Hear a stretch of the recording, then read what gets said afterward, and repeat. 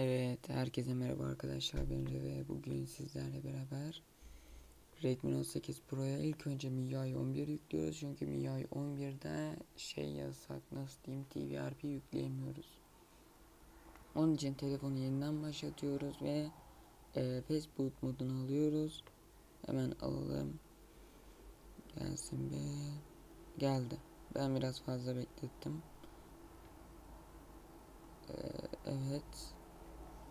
Şimdi e, Clean All'a tıklıyoruz. Kesinlikle Clean All and Flash'a tıklamıyoruz ve flashlıyorum. Bunu kesinlikle kendiniz denemeyin. Ben siz denemeyin diye yapıyorum. Tamam şimdi e, kapatma tuşu ve ses kapatma tuşuna basılı tutuyoruz. 20.5.26 beta bu arada 25 e, ve diğer önceki betaları tanıtmadım çünkü o, o kadar hızlı değillerdi. Diğerlerinden daha yavaşlardı. Tamam Facebook modunu aldık ve şimdi e, şey TVRP'mizi flashlayacağız. Giriyoruz TVRP flashlamak için. Bunların linkini vermeyeceğim çünkü e, nasıl diyeyim e, flashlamanızı çok fazla istemiyorum. Çünkü flashlarsanız e, bir sürü telefonu bootloader kilidine bootloader ne alaka? Ha, telefonları hard brick olan bir sürü insan var Xiaomi. Forumlara girerek rahat e, rahatlıkla bulabilirsiniz. E, benim de e, böyle bir e, şey var, şans var. Nasıl diyeyim? E, benim de bootloader e, şey nasıl? Brick oldu cihazım. Brick oldu ama ben e, kurtardım bir seferlik. O da şanslı olduğum için galiba arkadaşın e, telefonu bir daha açılmamış ama benim telefonum açıldı. Ee, tamam şimdi telefonun açılmasını bekliyoruz. Bekliyoruz. Açılsın. Ee, TVRP modunda açıyoruz telefonu. Biraz uzun sürebilir burada. Ee, birin, e, birinci de açılabilir, ikinci de açılabilir. Hemen bekliyoruz. Ben hemen geleyim. Geldim. Şimdi. Ee, hemen e, TVRP açıldı şu anda. Bekliyoruz. Şu anda benim SD kartıma dosyalar açık atık olduğu için nasıl diyeyim atılı olduğu için e, ben e, şu anda sadece telefonu sıfırlayacağım ve e, disable mtp yapıyoruz. Bu, bu da önemli. Telefon sıfırlamanıza engel olabilir. E, Dalvik Data Cache System yapmanızı önermiyorum dediğim gibi. Bundan sonra herhangi bir farklı bir işlem ya da yapabileceğiniz herhangi bir işlem telefonunuzun bir daha açılmamasına sebep olabilir. Bundan dolayı bence risk almanızı tavsiye etmiyorum. 20.5.26'yı flashliyoruz. Bekliyoruz. Ve hemen geleyim. Evet şu anda bitti. Ve telefon açılacak mı açılmayacak mı bakacağız hep beraber. Ee, her seferinde telefonun açılma ve de açılmama şansı var. Ee, ben öyle görüyorum. Onun için e, çok fazla riske girmiyorum herhangi bir şekilde TVRP'de hepsini silmek gibi. Ee, İngilizce. Evet şu anda kurulumu tamamladım. gördüğünüz gibi sistem wallpaper, wallpapers falan.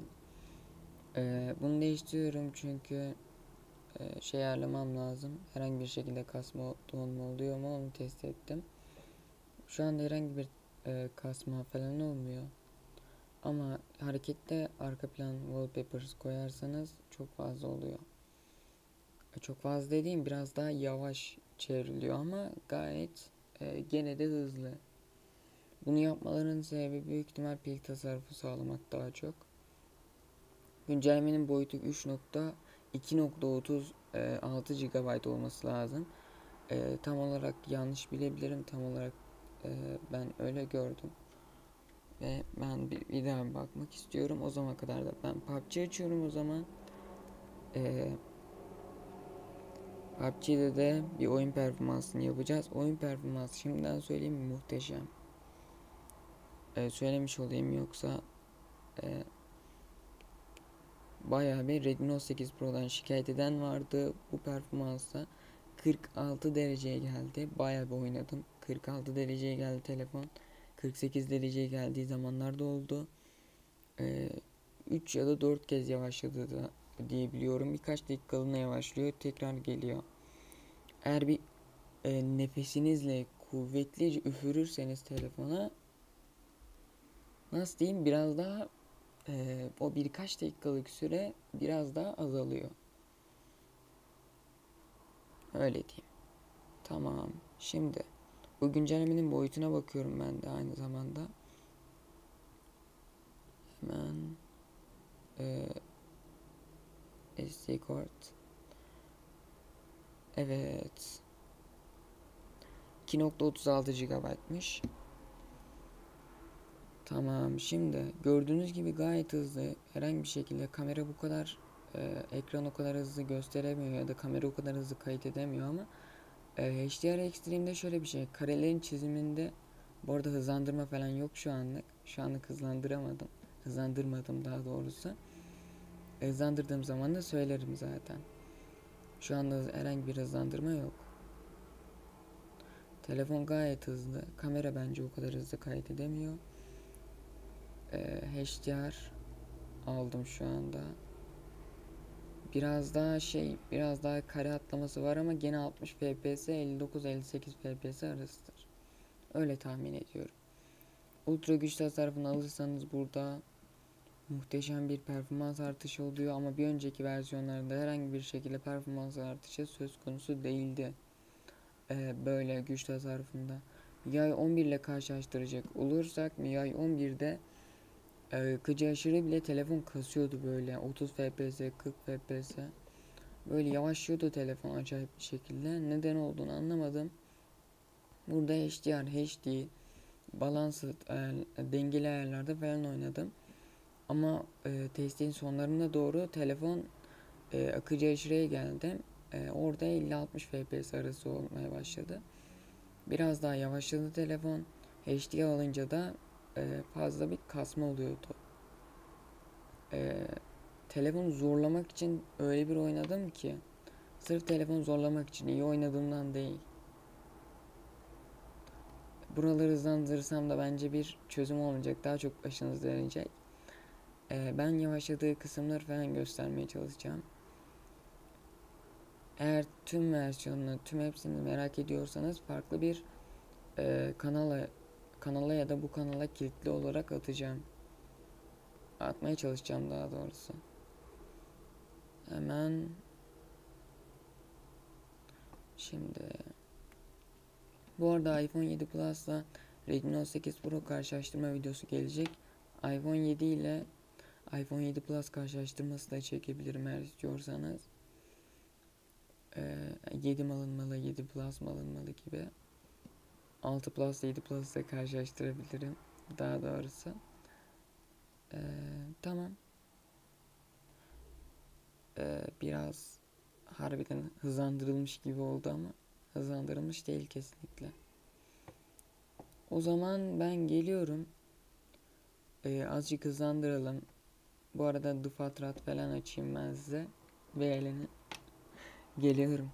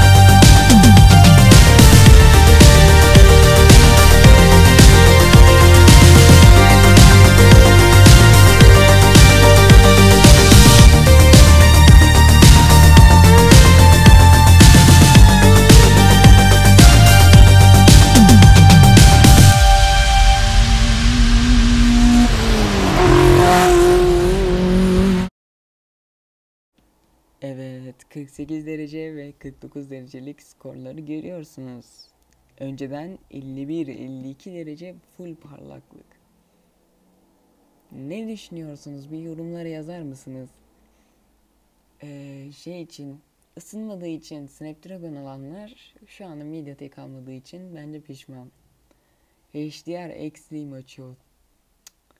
İnanmıyorum ya. HDR Extreme bu arada 60 FPS 50 FPS civarı açıyor. Ee, büyük ihtimal Mi 9T'de 30 FPS 35 FPS civarı oynuyor. Haberiniz olsun. Mi 9 Lite alanlarda şu anda. Yani. Evet. Tekrar geldim. Cihazın bataryası da çok az gidiyor. Bataryası öncesine göre daha az gidiyor. Ee, size bir tavsiye bununla çok fazla bir, e, bununla daha hızlı olacak ultra güç tasarrufunu alın telefonu MIUI 12'de ultra güç tasarrufunu alın ve ondan sonra oyunu oraya ekleyip açın. Yoksa gene HDR Extreme'de çok fazla bir performans elde edemezsiniz. Onu söylemiş olayım. Ee, ekran kaydedici ile biraz yavaşlıyor. Mol veriyle e, çok hızlı değil. Mol veri açarsanız gene telefon yavaşlıyor. Büyük ihtimal Snapdragon da aynı diye düşünüyorum. Snapdragon'da farklı olmadığını düşünüyorum. Bu arada hızlandırma yok şu an bu videoda. Var mı yok mu bilmiyorum. Çok hızlı hareket ediyorum çünkü. Geliyorum ben. Evet. Geldim. Hızlandırma yokmuş. Ne kadar hızlı oynuyorsam %300 hassasiyette oynuyorum galiba. iPad'de %300 hassasiyette oynuyordum. Ee, büyük ihtimal bunda da %300 hassasiyette kaldı. Ee, telefon kasıyor falan diyorum şu anda galiba. Gerçek videoda. Ee, normal bence %300 hassasiyette kimse oynamaz diye düşünüyorum. Ee, %230'a falan alıp da öyle de bir testini yapayım. Çünkü gördüğünüz gibi böyle test yapsam dayanamaz ki. iPad de dayanamıyor. Ama bu gayet iyi dayandı bence. E, dengeli aşırıda iPad'den daha iyi bir skor elde etti.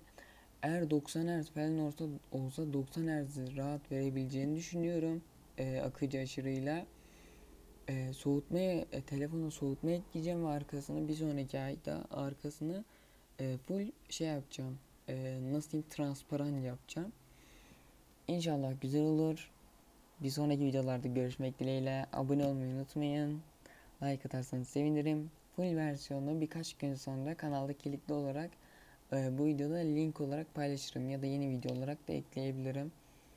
E, izlediğiniz için teşekkürler. Görüşmek dileğiyle. Bay bay. Bu arada parlaklık seviyem de bu. Hemen açılsın bir. Açmaya çalışıyorum. Açamadım. Ee, Evet açtım. Şimdi bakalım. Parlaklık sona yakın. Şimdi e, şey düşürmem lazım galiba. Bileklikle mesela Bluetooth şey anlatıyorum. E, 2.4 GHz'e bağlı şu anda telefon. 2.4 GHz'de e, bilekliğe bağlı olursa daha çok MS'niz yükseliyor diyorum şu anda. E, evet. O zaman e, kaç e, 75 galiba pilimiz kalmıştı. 75 ya da 74. 76 da olabilir. E, o zaman görüşmek dileğiyle. Bay bay tekrar.